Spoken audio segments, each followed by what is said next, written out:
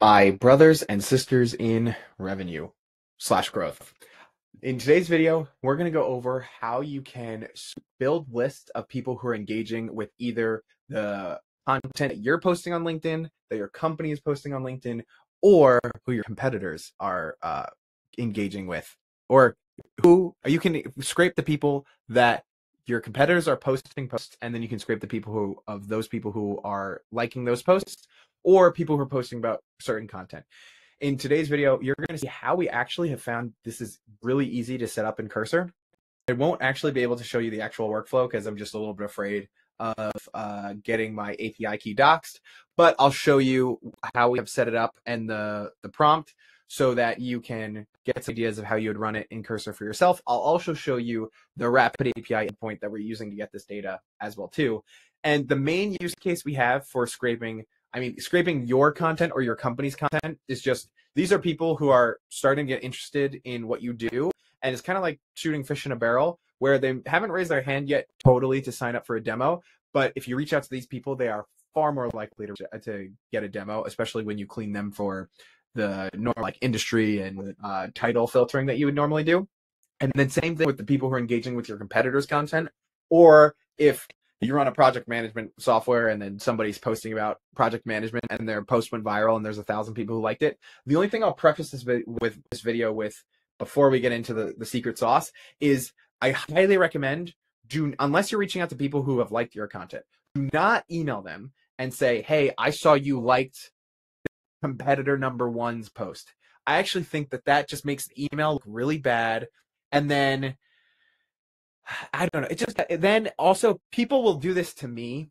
And I know I've taught to do this in the past, so it just it is what it is. But people will send me screenshots and they'll say, "Hey, this guy is scraping your LinkedIn posts and then name dropping you and saying, "Hey, I saw you liked Eric Nowoslawski's post." And so it's like one, my competitors will do that, and I find that to be really annoying. That uh, and I know I teach people how to do it, but I find it to be really annoying that I'm putting all this work to create content and then you're just like taking leads from another bootstrap founder. We don't really need the leads, so it's okay. And I haven't really gone after anybody about it, but I find that to be really annoying. And also, I'm pretty sure people who are receiving these emails are starting to find it kind of annoying. But the reason I'm teaching this is because we have a couple of customers that this is absolutely the best list that we can create for them, and it works extremely well. I wouldn't say that you found them on LinkedIn. Just if there's a thousand people who have liked your competitor's post and you whittle it down to 200, just email them and just send the same email you would send if you were to normally reach out to them. Don't say anything about the fact that you scraped them from LinkedIn or any of this other garbage stuff. So anyway, I have a ChatGPT summarization of how we did it because I just don't want to dox my API keys. And you can take this learning and then just ask Cursor to set it up for yourself as well too. So this is the Rapid API endpoint that we're using over here to to get this done. Uh, and I found it to work extremely well. It works really well for me. If you don't want to use RapidAPI, uh, you could also use Trigify. Trigify does this social content listening as well too. I don't know how these people are getting the data, so maybe you want to test Trigify versus this Rapid API one. But so basically, you can. I think there's something about posts you can get here. You could get all of a person's posts with this endpoint here, and then there's something about company posts. You can get all the company posts here. What I've actually found is we've had people ask us to scrape all of the engagers from a company post, and that doesn't really work that well. So then what we'll do is we will then take the company URL, find all of the contacts associated with that company, and then get all of their posts, and that works a lot better because company accounts really usually aren't that successful.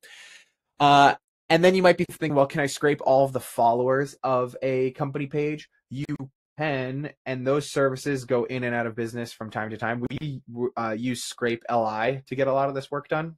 But what has to happen is you have to have a Sales Navigator account that then says that they work at the company that you're trying to scrape. And so you really want to have some other kind of service do this because uh, you then that profile needs to say that they work at the company and then you can scrape all the followers that way so for the purposes of this you got to go to another provider for that or another vendor this is just going to be able to get you the post but anyway so we have all this data you can get the person posts with pagination here and then the company posts with pagination so you could just get all the posts and then you could get the post reactions the post comments everything about the post in these endpoints and so what i would literally do is I just click on one of these. I, I wonder if it'll sign me in and show me show my API endpoint. So I'm not going to click on any, but I would just click on one of these, get copy and paste the parameters, copy and paste the results into cursor. And then that's exactly what we did here was this is just the the summary file of what cursor built for me. But I basically just asked it, hey, I'm going to give you a list of LinkedIn profile URLs. Find the last 50 posts. Oh, uh, what did I do? The last 50 posts or something like that and let's see, fetches up to 50 posts per person, extracts up to 200 likers per post, and uh, then it turned it all into a CSV file for me. That then I had all the LinkedIn profile URLs of all these people, and then I used Clay to enrich them. You could use this endpoint to enrich them as well too, to make sure that they're actually right fits for you to reach out, and then you can hit those people. It's literally as easy as just explaining what you want cursor to build and then showing it the endpoints and then it did it really really really well so when you do this like i said don't say that you found them from linkedin. Just use the fact that the list that you just made is really really nice and then put your best foot forward with one of your other really good email campaigns. And it should be like shooting fish in a barrel especially if you're scraping your own company's content. It'll work really really well. This is like this is one of the playbooks. I really don't like to put a guarantee on anything because marketing is just a fancy word for testing.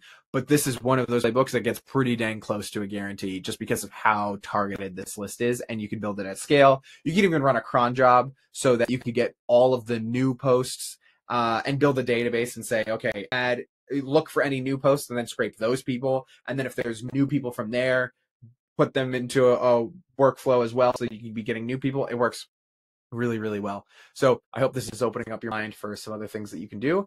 And uh, again, I feel like all of my videos today about Cursor, but I hope you can really jump in and enjoy it because it's it's a really great tool and gets this done really, really, really fast.